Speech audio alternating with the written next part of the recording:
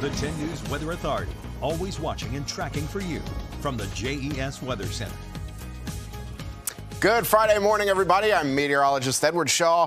56 degrees this morning in Wytheville, 62 in Martinsville. Blacksburg looking a little clearer up now, just a little bit better than what it did earlier when we had a lot of fog in the area. 58 degrees and Roanoke 61 degrees. So again, pretty mild morning overall, but we're going to cool down next week. But that's going to be after a brief heat up this weekend. High temperatures across the region today 82 in Roanoke, 83 in Danville, 80 in Blacksburg, 81 in Wytheville, and 77 in Hillsville. So if you're heading outside today, it's going to be a pretty nice day overall. Could have a few pop up chances for showers and storms later on in the afternoon and evening, but nothing widespread like what we've seen over the last few days. Now, temperatures, again, going to be a little bit like a roller coaster. This weekend, we're going to be climbing up and then we're going to drop right back down later on next week. 82 degrees in Roanoke today, 83 in Richmond, 84 in Charlotte. You can see this warmer air heading into our area, so we're going to be running above average for this time of year.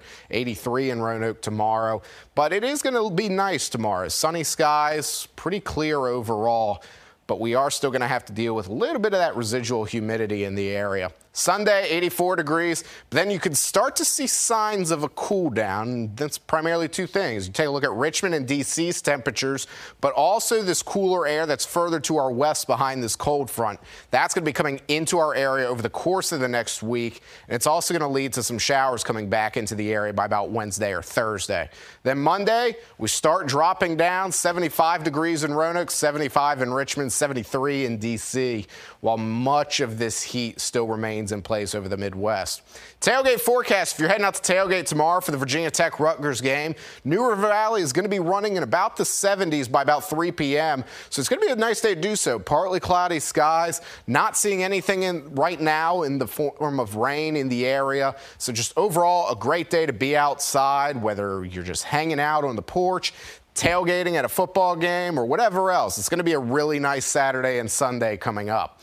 Two minute drill for college football, 80 degrees in Blacksburg tomorrow. I already talked about that. Then for UVA playing in South Carolina, 84 degrees.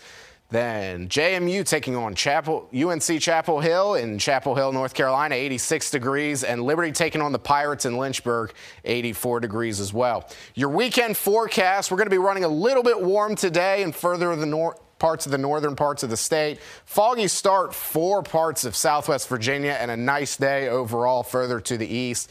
Saturday, the chance of showers and storms returns, and then Sunday, we're all cleared up and we start to cool down further to the north. Well, Happy, I think we need to go test out that slide. Uh, Agreed. Seems a little fun. Um, yeah, your seven day outlook. One last look at your forecast. Pretty warm this weekend. 80 degree temperatures expected Saturday and Sunday with partly cloudy skies.